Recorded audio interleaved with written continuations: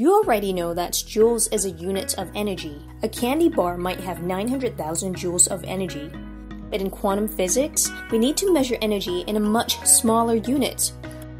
So we decided to come up with another unit known as the electron volts.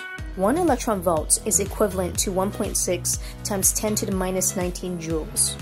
This is not an arbitrary number, so how do we come up with this exact number?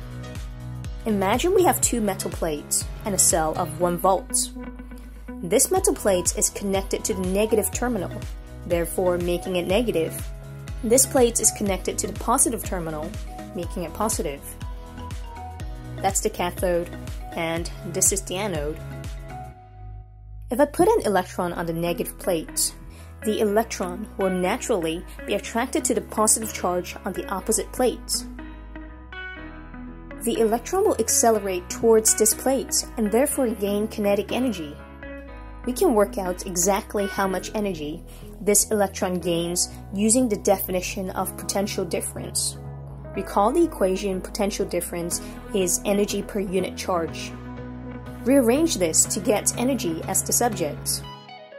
In this setup right here, the potential difference is just 1 volt, and the charge on an electron is always 1.6 times 10 to the minus 19 coulombs.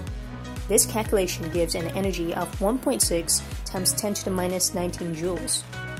This is the amount of kinetic energy that this electron gains as it reaches the other side. By definition, 1 electron volt is the amount of energy gained by an electron when it moves across a potential difference of 1 volt. And that's how we got this conversion here. 1 electron volt is equal to 1.6 times 10 to the minus 19 joules. To convert from electron volts into joules, you multiply by 1.6 times 10 to the minus 19.